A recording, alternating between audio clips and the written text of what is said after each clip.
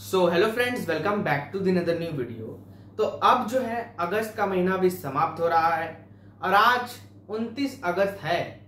सितंबर के महीने से ही पूरी फेस्टिवल का दौर शुरू होने जा रहा है। और फेस्टिवल के मौसम होते ही होते, देखते ही देखते चैंपियंस ट्रॉफी भी शुरुआत हो जाएगा। यानी 2025 भी दस्तक दे रहा है। और 2025 की शुरुआत से ही पाकिस्तान में हो रहा चैंपियंस ट्रॉफी की भी शुरुआत होने जा रही है। इस बार आप सबका क्वेश्चन है कि गेमिंग गुरुजी भाई, आखिर रियल क्रिकेट 24 में, सितंबर के महीने में क्या लाइसेंस वाला अपडेट मिलने वाला है क्या? अगर लाइसेंस वाला अपडेट नहीं भी मिलता है तो कुछ नया अपकमिंग फीचर्स आने वाला है क्या? कोई नया कमेंट्री आने वाला है क्या?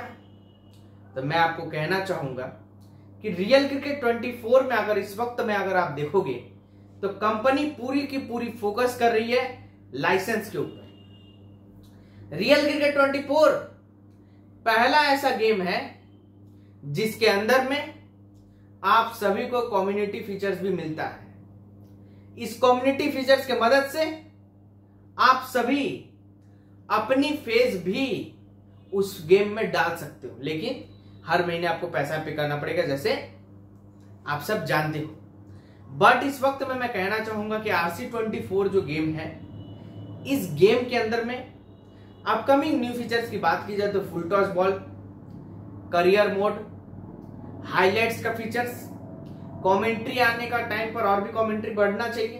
तो ये सब हो सकता है। और लाइसेंस की अगर बात की जाए तो मुझे लगता है कि अभी कंपनी और समय लेगी और आईपीएल के टाइम पर इस अपडेट को रिलीज़ करेगी, जिसमें रियल लाइसेंस के साथ पूरी स्क्वाड आपको देखने को मिल जाएगा।